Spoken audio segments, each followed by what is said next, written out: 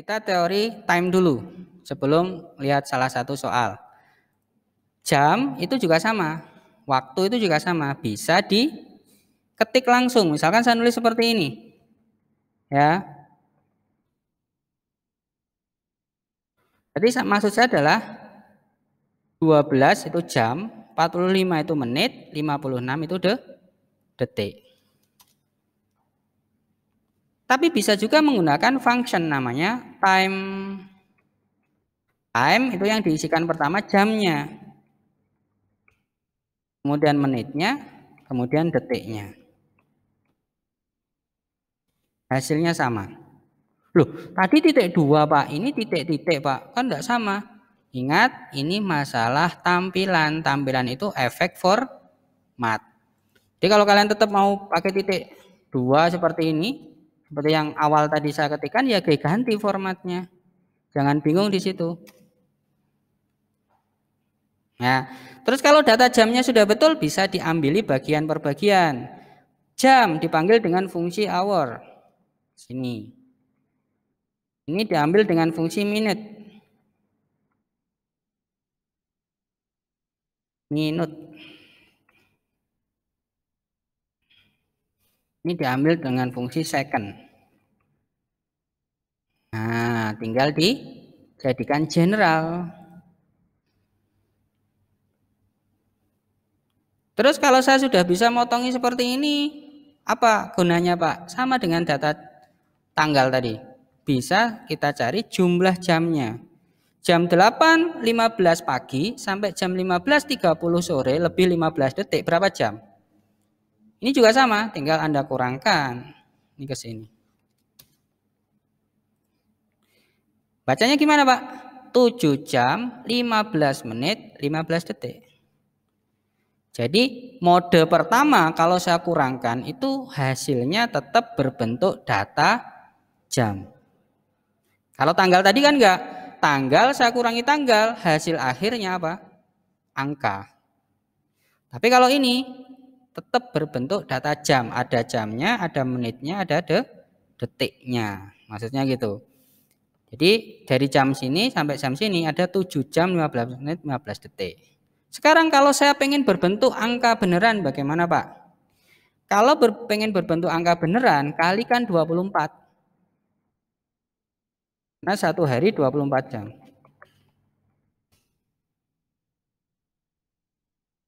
Maka akan berbentuk angka. Cara bacanya bagaimana Pak? Jam 8.15 pagi sampai jam 15.30 lebih 15 detik sore itu ada 7 seperempat jam. 7,25. Jadi kalau misalkan saya sisakan dua desimal, ini kan 7,25. 7 seperempat sama kan dengan ini. 7 jam 15 menit itu kan 7 seperempat jam. 7,25. Lah kalau sudah berbentuk angka bisa digunakan untuk mencari menit juga dalam bentuk angka. Berarti apa? Jumlah jam kalikan 60 karena satu jam 60 menit. Jumlah detik juga sama. Jumlah menit kali 60. Tinggal digeneralkan. Jadi 7 seperempat jam Jumlah menitnya ada 435,25 menit. Jumlah detiknya ada 26.115 detik. Yang belajar kedokteran misalkan kita samakan nih detak jantung itu dengan detik misalkan. Walaupun mungkin lebih cepat ya. Itu jantung kita dari jam 8.15 pagi sampai 15.30 sekian detik ini berdetaknya sudah 26.115 kali loh. Banyak kan ya? Itu jeda sedikit saja nangis ya. So gulung-gulung ya kalau jeda sedikit saja. Artinya dari mulai lahir sampai sekarang hitungan itu jumlah detiknya. Kira-kira jantung kita lelah atau enggak gitu. Jangan sampai lelah mandek ya nangis. Pemanfaatnya gimana Pak? Kita lihat. Nanti ada untuk nagih utang. Fungsi tanggal itu bisa untuk nagih hutang. Yang pernah ngutangkan ya misalkan Ada tanggal piutang, ada tanggal hari ini. Asumsikan 10 Januari 2006 itu hari, tanggal hari ini. Utangnya tanggal ini, tanggal ngasih utangnya. Ada berapa hari? Ya kan? Simple ini. Ini lihat, ini sendirian. Fungsi apa? Kalau sendirian fungsi absolut harus digunakan. Kalau nggak kamu gunakan, salah nanti jadinya.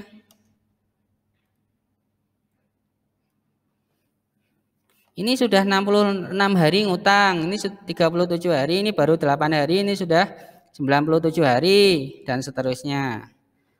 Berarti semua totalnya bagaimana? Bisa disam. Dengan ngerti fungsi tanggal dan jam jadi simpel. Kamu ngutangkan sudah berapa duit? Atau ditarik aja ya bisa, ini ke sini. Sudah sekian duit. Ya. Kalau sudah 66 hari jatuh tempo enggak? Wayai nagih enggak? Saatnya nagih enggak? Nah, ini nanti lihat soalnya di sini. Bila jumlah hari belum lewat 30, maka tampilkan nilai piutang. Ya kan? Bila jumlah hari belum lewat, maka tampilkan nilai piutang. Jumlah harinya. Ini belum lewat itu apa? Lebih kecil atau lebih besar? Soal cerita loh. Lebih ke kecil. Lebih kecil dari 30. Tampilkan nilai piutang. Yang ini berarti tidak menampilkan apa-apa. Kenapa nol Pak? Karena yang kita munculkan sebagai hasil itu angka. Maka musuhnya Sebaliknya, nilai sebaliknya ya harus angka. Ingat-ingat itu. Ya.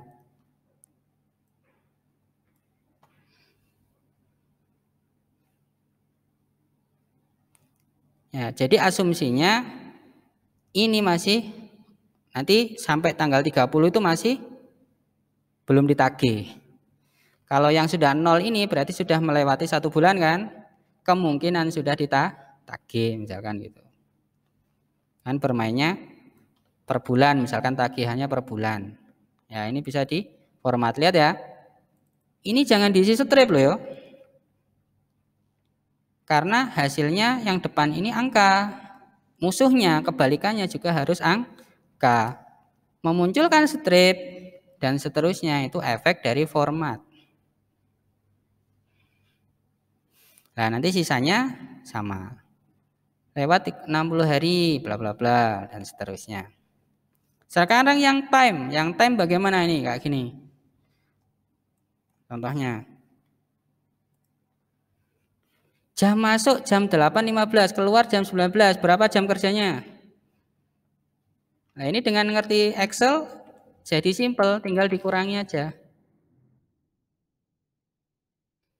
Nah, ini boleh dijadikan dalam bentuk short time. Nah, kayak gini. Berarti 11 jam 30 menit. 12 jam 38 menit. 8 jam 20 menit dan seterus, dan seterusnya. Tapi kalau dalam bentuk desimal ya seperti ini berarti kalian kalikan 24 ya misalkan seperti ini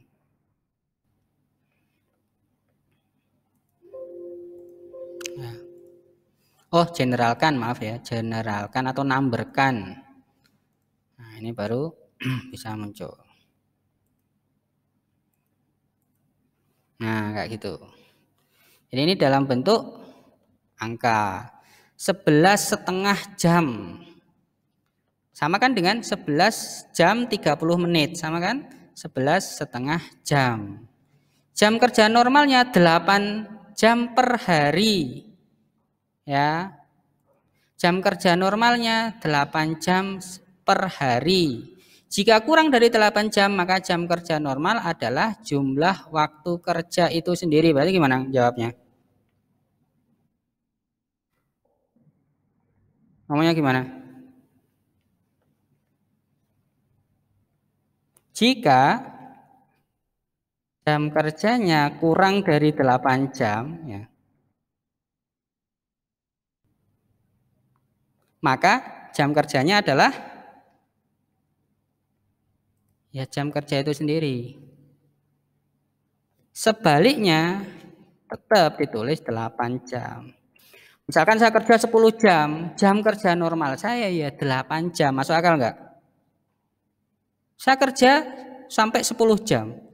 Jam kerja normal saya berapa? Berapa? Ya 8 jam. Loh terus kelebihannya lembur masuknya. Tapi kalau saya kerja kurang dari 8 jam, misalkan saya masuk jam 8, pulang jam 11, kan kurang dari 8 jam. Ya jam kerja normalnya sesuai dengan jam yang saya masuk. Ingat ini logika, nanti kalau kalian bagian keuangan gaji ojo ngawur ya. Dilihat, salah ngitung ini perusahaan rugi loh. Contoh seperti ini. Ini kerja sampai 11 setengah jam. Normalnya ya 8 jam. Lah terus kelebihannya masuk sini. Ada gajinya sendiri-sendiri nanti. Yang orang ini kerja cuma 5 jam, 5,9, 5 jam. Terus jam kerjanya berapa? Enggak sampai 8 jam kan? Ya ditulis apa adanya. Ini masuk akal. Logika masuk akal ini. Nah, baru kita ngomong jam lembur. Bagaimana jam lembur? Dengan simpel jam kerja kurangi ini. Persoalannya sampai sini, lain uh, nol ya sudah. Oh ini nggak nggak lembur ya. Yang contoh yang bisa negatif itu mana ya? Yang bisa negatif ya? Kadang bisa kalau salah rumusnya itu bisa negatif di sini. Dikurang ini dikurang ini bisa negatif. Nah ini alhamdulillah ini jam lemburnya langsung otomatis nol ya. Jadi masuk jam sekian pulang jam sekian ya wes tidak ada lembur kan nol. Ini lebih ada lembur. Nanti muncul upah pokok. Upah pokok gimana? Upah kerja pokok diisi berdasarkan tabel gaji dengan kunci golongan. Nih. Upah pokoknya diambilkan dari sini. H lookup, V lookup. H look. Ya, Reza apa? H lookup. V lookup, H lookup, Dok. H lookup ya. Yang lain ada yang jawab VLOOKUP gak? Ayo, siapa yang jawab VLOOKUP? Tak kasih hadiah naik beca. Kalau jawab HLOOKUP, eh maaf, kalau jawab VLOOKUP. Ini kuncinya golongan. Datanya dibuat memanjang ke kanan.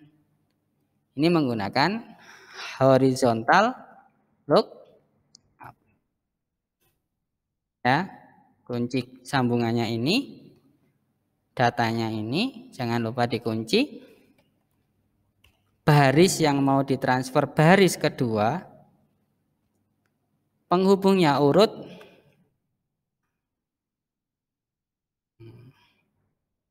Akan bisa muncul gaji pokoknya. Total upah. Jam kerja normal kali upah kerja pokok plus 1,5 kali jam lembur kali upah pokok. Jadi ada dua unsur ya di sini ya. Pertama, jam kerja normal kali upah pokok. Yang ini kali ini.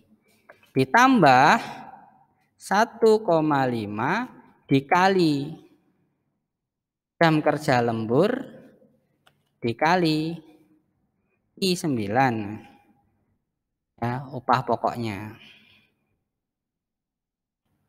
Enter. Oh, satu koma maaf. Ini Indonesian ya. Nah. kan? Nah, dibagi dua aja jendelanya. Hmm.